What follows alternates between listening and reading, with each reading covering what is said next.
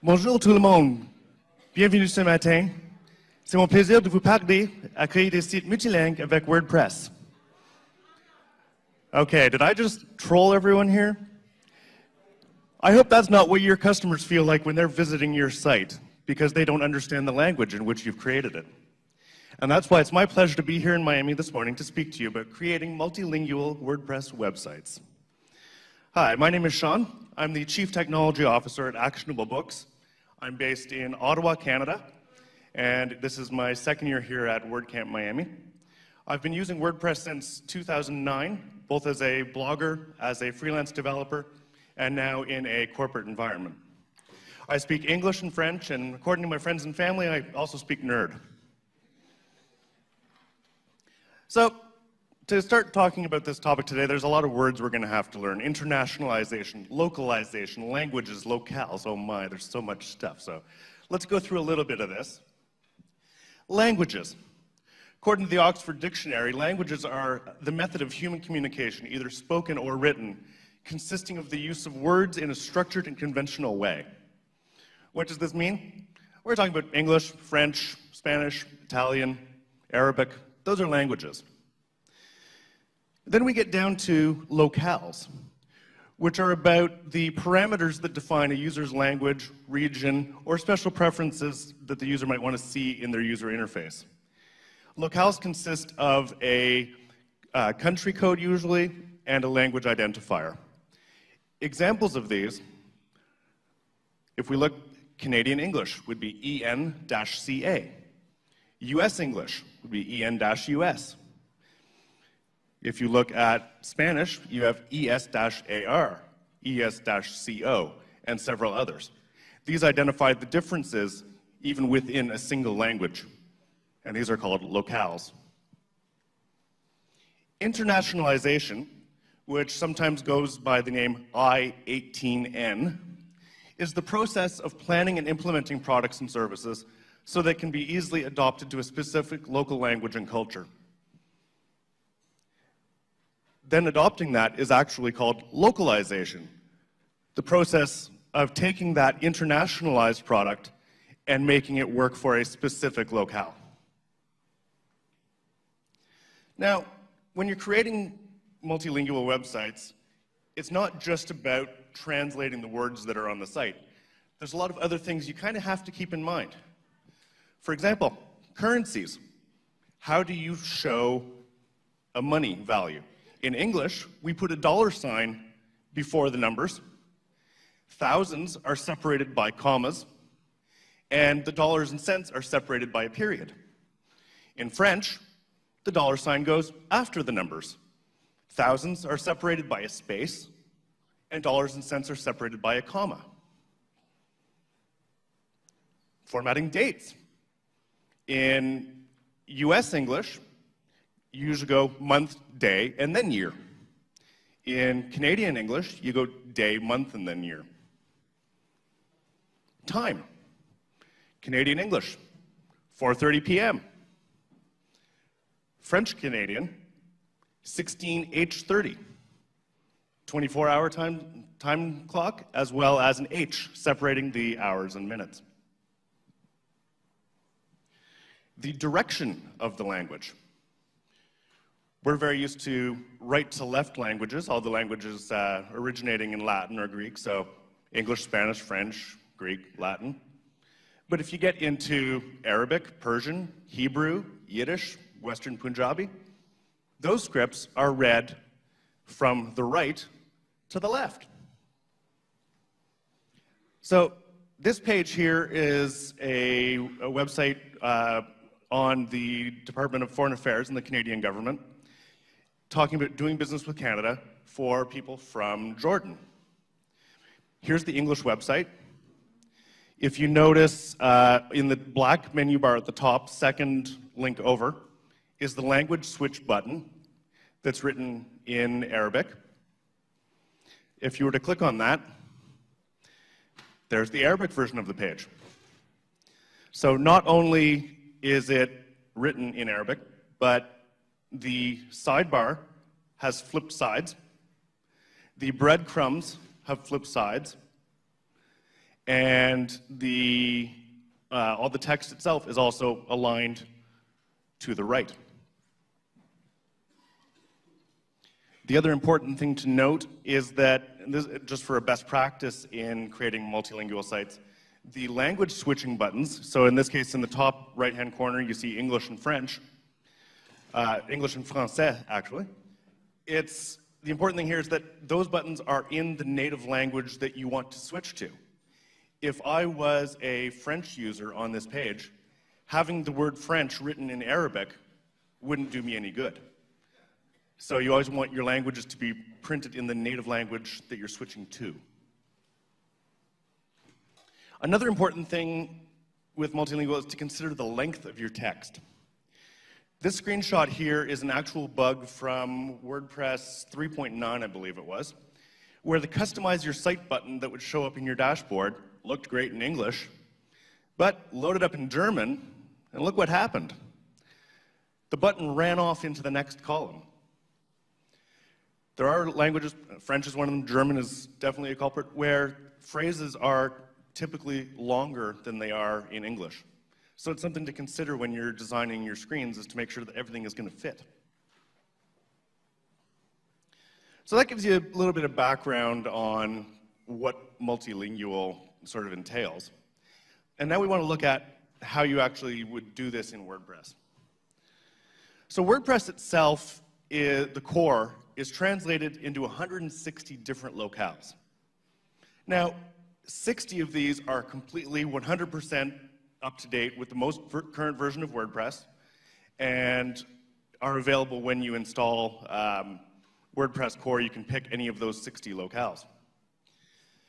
Translations, like everything else in WordPress, uh, it's part of the open source project. It's managed by volunteers. In this case, it's the Polyglots team that takes care of making sure that WordPress is available to the most number of people in the most number of countries and languages available. So when you install WordPress, you get to pick which language you want it to be installed in. These are the 60 locales I was talking about that are 100% translated. But that just takes care of the interface for WordPress's dashboard itself. It has nothing to do with the front end um, being multilingual, what you want your users to see. So we need to look at some different options to provide your visitors with that multilingual support. First thing that we're going to look at are a couple of plugins that could help you do this. First plugin I'm going to talk about is one called WPML. It is a premium plugin from On The Go Systems uh, that allows you to manage a multilingual website and it takes care of your posts, your pages, your custom post types, taxonomies, menus, text from your themes, text from your plugins. It really covers everything off. What does that look like? So here we're looking at the screen with the list of pages that are on a website. And you'll notice there's a new column that shows up next to the page title that has the flags representing each of the locales that I have this website available in and it will show a pencil if you want to go edit the, translation of that particular page in that language, or the little plus sign if you want to add a translation because there isn't one available for that particular language. Also, at the top of the page, you now have a new filter to say, just show me my English pages or just show me my Hindi pages, and it filters it by that. Once you get into the post editor, it looks very similar to what you see in a regular WordPress installation, except there's a new language box that shows up in the right-hand sidebar. And this says, this particular post is in French Canadian, and it's a translation of an English post called Terms of Use Agreement. And it lets you switch back and forth between the translations that are available, or to pull in content from the original one if you wanted to redo it. Let's say the English post had been updated, and you could pull in that content and work with that. WPML allows you to choose the structure of the URLs, uh, the permalinks that are given to your site. So the options here are put languages into different directories. So you can have example.com slash fr, example.com slash es, and so on and so forth for different locales. You could do different domains. So as the screenshot here is showing, I've done subdomains with fr.wpml.dev being my French site, de.wpml.dev being the German site, and so on.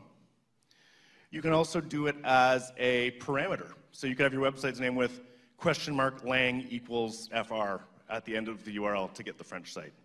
My personal preference is the first one, uh, putting the languages into subfolders. For custom post types, uh, WPML lets you choose which ones you need to have translated and which ones you don't. So if you're using plugins that store data for you, let's say contact forms into a custom post type, you wouldn't want to translate those. So you can turn off all the translation options so it doesn't bother you. Same with custom taxonomies. You can choose which ones are translatable, which ones are not. And if they are translatable, you get a nice screen like this, where you can go in and say, well, the English category in this case is called uncategorized. And in French, I'm going to translate it to something else, including picking a new slug that will appear in the URL if you want to look at the archive page for that taxonomy. One of my, just a little pro tip for you here on uh, WPML, there is an option uh, called Make Themes Work Multilingual. And this is an option to make some themes that are reliant on specific um, CSS usually to make sure that they work across all languages. Most of the time you do not need this option, so I would try turning it off and see if everything still works. I worked on a website last year that was uh, very multilingual, it was 14 languages. And the homepage made over 700 calls to the database to check for translation options. Uh, it made the homepage load really slowly. Turning this option reduced that down to 250. It was still not great, but it was a heck of a lot better. So I would, I would look at turning that off if you can. So one thing about WPML that I should cover is that each translation that you do, so every language that a page or a post is available in, is stored as a separate post. So you manage them separately. Uh, if you were to turn off the plugin, you, you would see a list of all your posts, and you would see the English one, the French one, the Hindi one, the Spanish one, they'd all be listed there as separate items. Uh, this will, the reason I'm pointing this out is as we look at other options, you'll see there's other ways of doing that. The next plugin I want to show is one called QTranslateX. Now, QTranslate has been around for many years, uh, been maintained by different authors over the years. Um, QTranslateX is the latest version of it, and when I took a look at this uh, while I was preparing for this talk, I was really quite impressed with, uh, with the latest redesign of it. Um, so I think it, it's worth looking at. It is a free plugin. It's available on the WordPress.org repository. It supports, like, like WPML did, the posts, pages, custom post types, taxonomies, menus, and this also has general settings and widgets available in its translations. So here we are looking at another list. This, in this case, it's a list of uh, the categories. And you'll notice at the top, you have buttons for the different languages this site's available in. Clicking on those buttons will switch that screen so that you're looking at that language and it's all kept within the one screen. The post editor, same thing. At the top, you've got the flags for each of the locales this site is configured to use. So you can just switch back and forth between them live. As I said with WPML, managing them as separate posts, QTranslateX keeps everything in the one post. Any uh, piece of the screen that has a, uh, in this case, it's a red border on the left-hand side. You can see uh, it's circled in blue right now on, on that screenshot. Anything that has that border is managed in QTranslate so that it can be translated. The only thing on the screen you cannot set specifically by locale is the URL, the permalink, and any custom fields. Those are shared across all translations uh, for that post. The way QTranslate does this is using shortcodes behind the scenes. If you were to turn off the plugin, you would see content like this on your post. You see shortcodes separating with the language codes between each phrase. This is what allows it to keep everything self-contained into the one post ID. Uh, QTranslateX allows translating of widget areas. So there again, you have the flags at the top of your widget configuration, and you can click on that to set the content in each locale. Menu structure is the exact same thing. And like WPML, in QTranslateX, you can set your URL structure for how you want it to be shown on the site. In the general settings, this allows you to set your site name and your tagline in each language. So you can set just another WordPress site in every language. I recommend, of course, you change that one. The next one I'm going to look at, the next plugin, is called Babble. Uh, now, Babble is one I don't have that much experience with, but I'm, I'm starting to look at it. It's, it's a plugin that Automattic uh, bought, I believe it was about two years ago. And Andrew Nacin, who's the lead developer for WordPress, has said that if they were ever to build multilingual support into WordPress's core, they would probably do it the way Babble does. So there, you know, there may be something to that to check out. Babble's big thing, because it needs to support WordPress.com, is that it doesn't create any additional tables in the database. It makes use of the, the structure that comes with WordPress's core. And like WPML, translations are kept as, as separate posts. Uh, Babble supports posts, pages, custom post types, taxonomies, menus, widgets, just like the other ones we talked about. But when you're editing your translation, so in this case, I'm editing a French page, uh, it's a translation of an English page, you see them side by side. So the English text is there on the right, and you have the post editor on the left for the French, allowing you to reference the English one as you are writing the new text. So that's, you know, we just covered three plugins there. There are some other ones. Um, Polylang is another one that comes to mind that you can use. Uh, I haven't tried that one, but those three are, are a good starting point. The other approach that I wanted to talk about was using WordPress multi-site. Uh, if you're not aware, WordPress multi-site is a, uh, a different way of installing WordPress that allows you to create multiple websites in what's called a network that share themes, they share plugins, they share the uh, users that can log into WordPress. So one of the ways you can use multi-site is to set up a site for each language. The reason I say you want to use multi-site to do it is it's much easier than managing installing separate WordPress installations for every language. That would, that would be a management nightmare. So what you want to do is set up a multi-site that has one multi-site for English, one for Spanish, one for French, but then you can log in and switch between them and manage them all together. For language switching, there are a couple of plugins that are designed specifically for WordPress multi-site that will allow you to link posts between sites so you still have that language switching capability.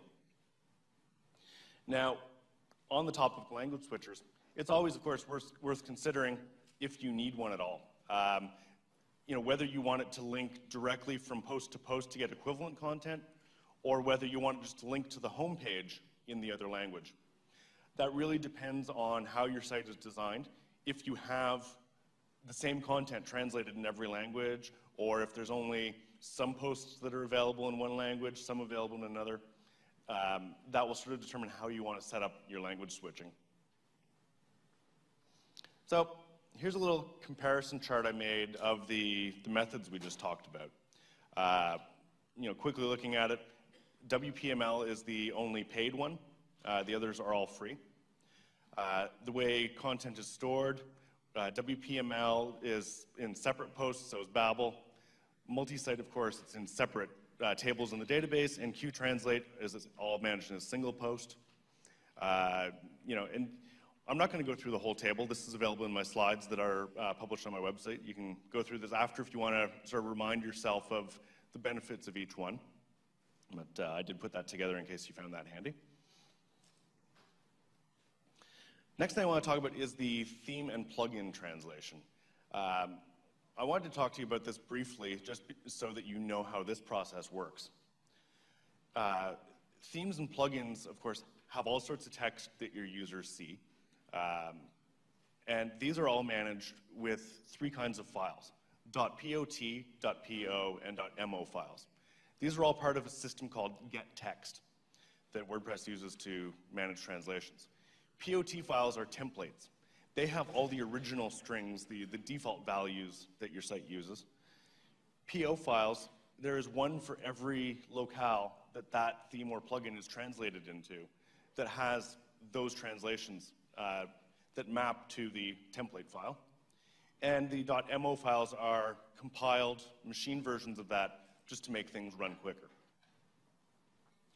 There are many popular themes and plugins that come with all of these files already created, shipped with it, available in your language.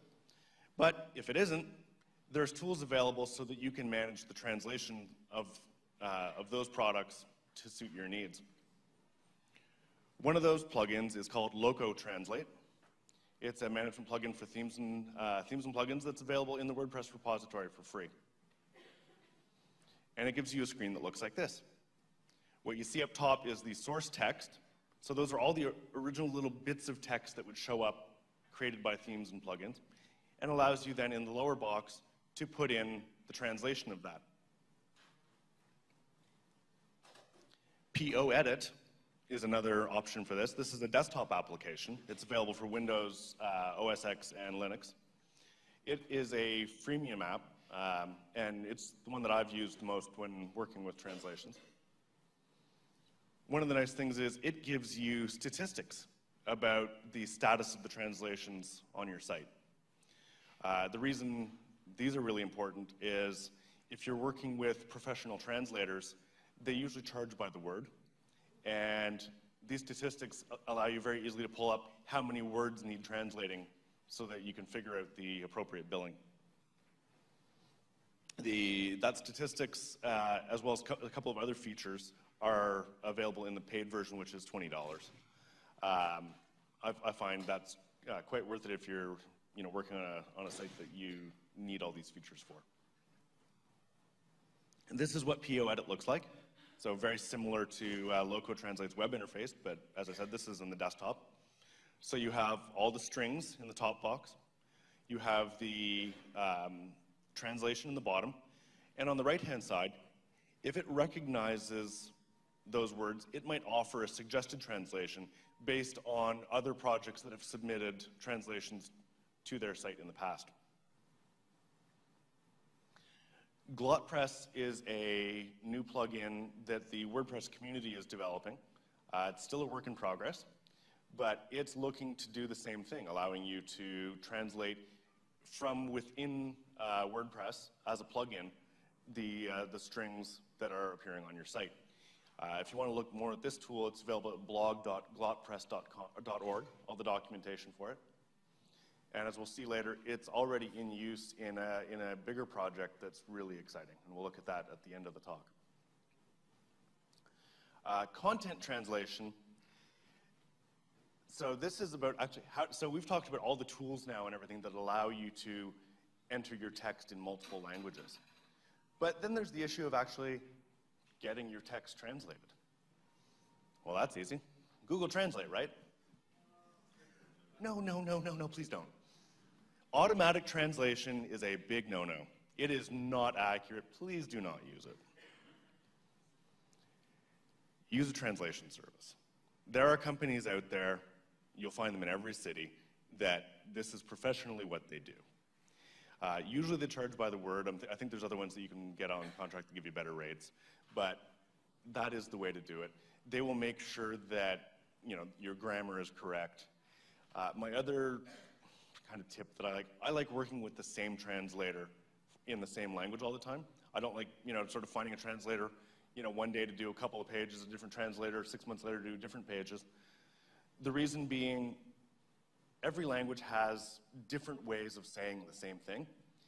And if you're using the same translator, they're going to develop a lexicon of words they use for your site so that you'll have consistent wording throughout you know, different upgrades to your site, and that's definitely something important to pay attention to. Uh, the other really neat thing is that there are a couple of translation services that integrate directly into WordPress so that, for example, you write a post, you can say, submit this post for translation, and the company gets a notification that example.com has a new, site, a new page ready for translation. They prepare the translation, and they can push it right back to you directly in WordPress. That's kind of cool. So iCanLocalize is one of those services. That one is integrated directly into the WPML plugin.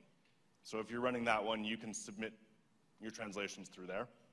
Uh, Lingotek is another company that will do this for you. Their plugin uh, is an extension that runs on top of the Polylang plugin, if you want to use their service. I'm sure there are other ones, but those are two that I'm aware of. Finally, WordPress is part of this wonderful community that we call open source.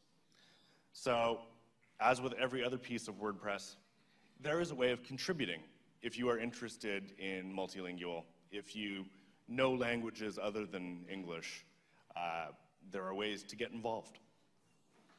The Polyglots team that I referenced earlier are responsible for making sure that WordPress is available in the dozens of languages and many more locales. It's a big job, and native speakers really help to make this process easier. All the documentation about getting involved with the Polyglots team is available on the make.wordpress.org website slash polyglots.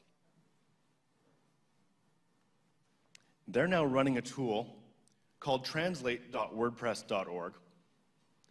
And this site is running GlotPress, that new plugin that I mentioned a little bit earlier. And with this website, you can provide translations to WordPress core itself, to the meta projects for WordPress. So all the other websites that are on WordPress.org are all included here, as well as every theme and every plugin in the repository that has been internationalized. As a user, you can log into this site and provide translations for any of those projects, helping to eventually make the WordPress plugin theme ecosystem available in as many languages as possible, not leaving that job up to the individual authors who usually know one or maybe two languages. Uh, this really helps make it a global project and uh, is as easy as logging into a website and typing in the translation if you know it, which I think is pretty fantastic. So I, I encourage you, if you do know another language, to start going in and contributing to your favorite projects to, to make WordPress better for everyone. That's it for me. Thank you very much. Merci, gracias. my slides, as well as links to all of the tools and plugins and everything uh, and documents are all available on my website right now. And if you have any questions, please feel free to reach out. I'd be uh, happy to help you out. Thank you very much and enjoy the rest of WordCamp Miami.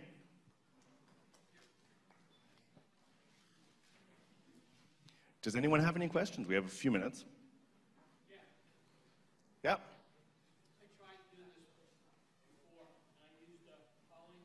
Okay.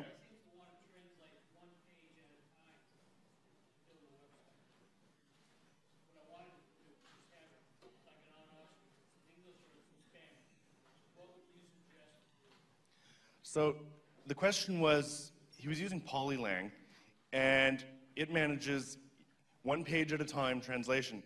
And it said he wanted just to have it like an on-off switch to be available in one language or the other. So are you saying that you wanted it uh, so that some of your content was in one language, some of the other, or that you were trying to build a website that was really just in a language other than English?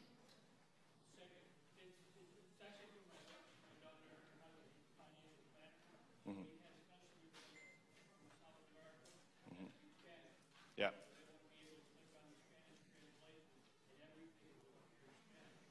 Okay, so in that case, you do have to, you do have to go uh, with a multilingual setup, and you do have to manage them page by page. There, there's no just quickly translate everything. Uh, you, it is, as I said, you don't want to use automatic translation, so you do have to do the content on every site.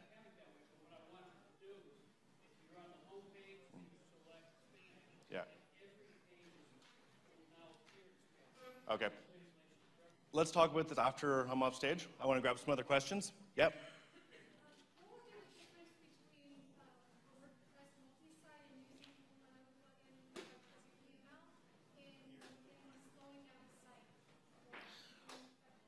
Uh, so the question was, is there a difference in the speed of your website between using some of the plugins that I spoke about or using WordPress multi-site?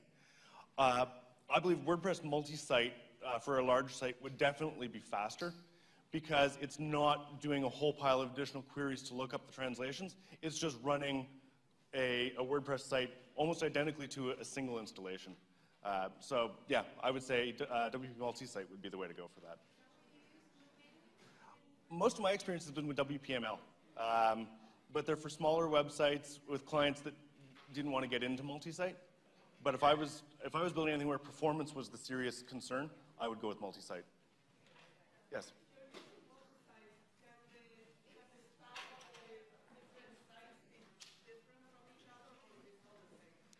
Can the what be different from each other? Sorry.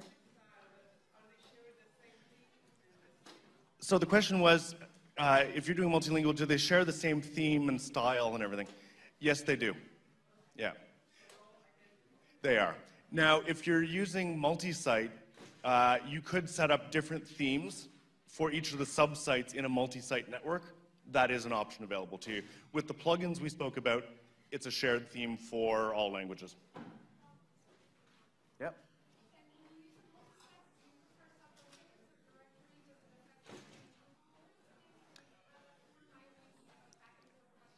So the question is with the URL structure, either subdomains or subfolders, uh, what the impact is on Google's ranking of those sites. Uh, I'm not an SEO expert. I, I couldn't tell you for sure what the impact is. My personal preference is I like the subfolders. Uh, it's just easier than you know pointing someone at you know you have to go to this subdomain. You know, just keeping it all in the one site. I prefer that stylistically.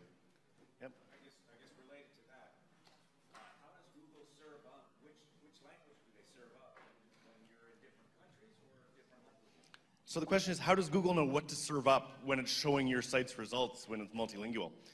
And what these plugins do is they add another tag uh, in the code that says, this page is in language X. And Google will read that, and it's not going to show a Spanish page on English Google if it knows that it's Spanish. It's, it's smart enough to make that association. And there's also, I know WPML does it, it puts additional code into the page that says, and there are translations of this available in these other languages, um, so that the, any of the, the bots that are scanning the internet know that, oh yeah, this is a direct translation of this other page. Yep.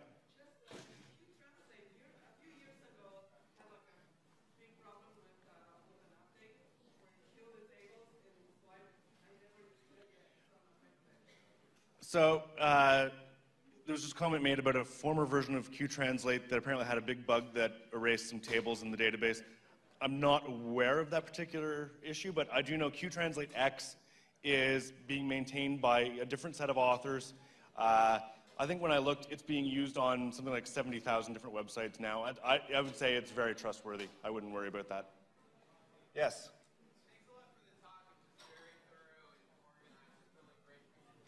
Thank you.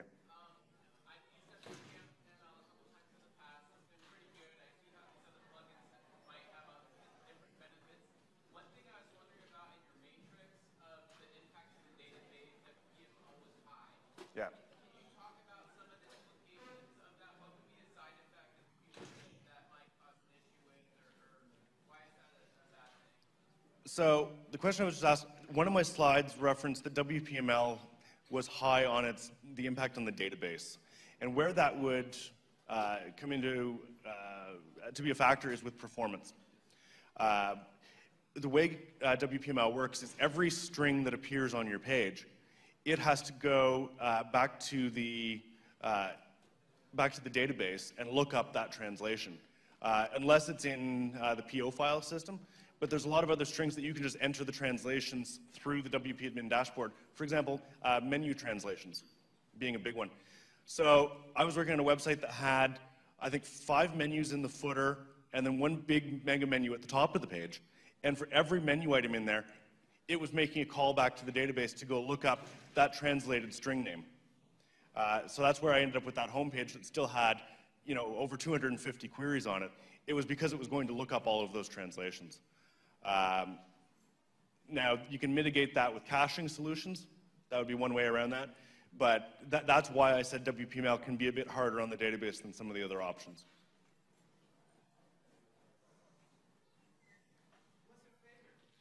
What's my favorite? Oh, do I pick favorites? I, have had the most experience with WPML. I think it is probably the most complete solution if you're looking for something that's all in one. Uh, I think if I uh, had my choice for a site that I was running myself, I'd probably lean. It really depends on what the project is. Uh, different use cases, different plugins are better for. Um, so I think all I can say is I have the most experience with WPML, but I think all of the things I presented today are valid options for doing a multilingual website. Okay, and uh, apparently we are out of time. So thank you very much, everyone. Uh, if you have any questions, I'll be outside later.